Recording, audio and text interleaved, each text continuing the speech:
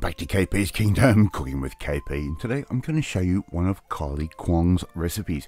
It is stir-fried Hokkien noodles with chicken and oyster mushrooms. Really nice and easy to do, and uh, quite affordable. Now, I do keep oyster mushrooms uh, in the cupboard, believe it or not. First, I'm going to make a marinade. I'm going to add in around about half a teaspoon's worth of sesame oil, about a tablespoon's worth of Shaoxing wine, a tablespoon of a good quality soy sauce, and a tablespoon of white sugar. Now, nice and easy that one, isn't it? All we have to do now is stir that up, and we'll cover that and put that into the refrigerator for at least 30 minutes. Alright, that's all you really need is 30 minutes. Leave it a little bit longer, it works out even better. So we've just made up our marinade with those four little items just like that. Give that a stir, just like that. And as I said, we're going to refrigerate it. Now, this dish, believe it or not, just came out of absolute nowhere. We're trying to work out what we're going to uh, have for dinner and I've got this little recipe book here of Kylie Kwong's and I had all the ingredients ready to go. Okay, so here I've got one onion, a little bit of peanut oil, my wok. I'm going to give that a bit of a stir through like that. We want to get these a little bit softened, make them a little bit opaque. And look, I don't mind a little bit of extra brown on my onions at all. Just gives it that uh, little bit more of an intense fire type taste. So we're going to uh, cook those off about five to six minutes ish like that. And all we have to do now, I'm going to remove those out of the wok and set those aside for a little bit later on. They're cooked to exactly where I want them. Take those out. Okay, now a little bit more peanut oil in our wok and we can now put our chicken in. Now what I've done there is I've got some chicken thighs and around about four, five chicken thighs and I've cut them at around about 10 millimeter wide strips or 3 eighths of an inch for the imperial people and we did the marinade. You've seen that. Really simple. We're going to cook these off in a couple of little batches, around about six to seven minutes in total. Okay, and we're going to cook these ones all the way through. We're not going to do what we normally do, and that is cook them around about sort of 90% of the way through because the very end of this dish takes no time at all to come together. So just keep stirring those around and around from time to time.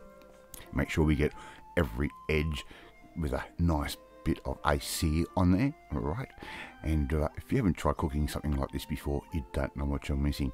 Alright, now in the meantime, I've got a can of oyster mushrooms. I've strained those and I've sliced those up. Yes, you can get oyster mushrooms in a can. If you want to use fresh, by all means do so. But if you have these in the cupboard, you can just create something out of absolutely nothing on a weeknight. Okay, so we're going to remove that chicken now. That's all cooked up nice and well. And we're going to put that into a clean bowl, of course. All right, makes you uh, end up doing a little bit more washing up at the end of the night. But look, it's uh, safer that way. So here's my oyster mushrooms. They're all going in.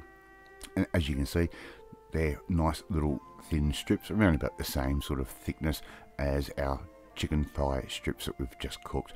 Now, I'm going to add in a little bit of garlic there, around about a clove's worth of garlic that can go straight in. Okay, nice and easy. And I'm also going to add in a little bit of sesame oil, about another half a teaspoon's worth that can go in.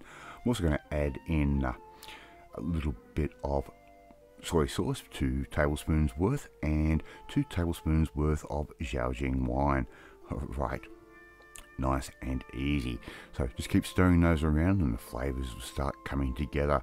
Here I've got a tablespoon's worth of white sugar. I'm using a caster sugar because it melts down nicely. Okay, now the next thing I'm going to add in is going to be around about all of our onions, just like that. Okay, they can go straight in. And uh, I'm sorry, I filmed this a couple of weeks ago and I'm struggling to remember what I actually put into this. And I'm trying to read the recipe as I am narrating. But uh, in total, we uh, also add in a tablespoon's worth of malt vinegar. And that is going to be getting close to it. And we're also going to add in around about another two tablespoons worth of soy sauce right so all we have to do now is get everything put together. Mrs. KP's on the other side of the kitchen separating our Hokkien noodles. We buy those uh, sort of little packet ones, the little uh, ones you just put in some hot water and uh, separate. In goes the Hokkien noodles, and all we have to do now is just mix and heat everything together, and before you know it, you've got this amazing stir-fried Hokkien noodles with chicken and oyster mushrooms. How easy was that to do? Also quite a budget type meal. We have to do now is serve that up. I'm going to put a little bit of nicely chopped spring onion straight over the top because it looks good and tastes even better. Alright, thank you so much for watching this video. Really do appreciate it. If you like this video, hit that like button. Gives me confidence. Should make you feel warm and fuzzy too. I'm also going to add in a little bit of coriander there as well. Please share this video with all your friends on all platforms of social media. Hit that notifications bell. You'll be notified every time a new video goes up. Leave a comment. I love reading and I love responding to them. But in the meantime, if you want to learn how to make Kylie Kwong's stir-fried Hokkien noodles, chicken and oyster mushrooms and other amazing recipes. You need to uh, come join the family, my family, hit the subscribe button. You'll never miss another one of my videos again. I'm off to uh, eat this mad dish and I will catch you next time. Bye.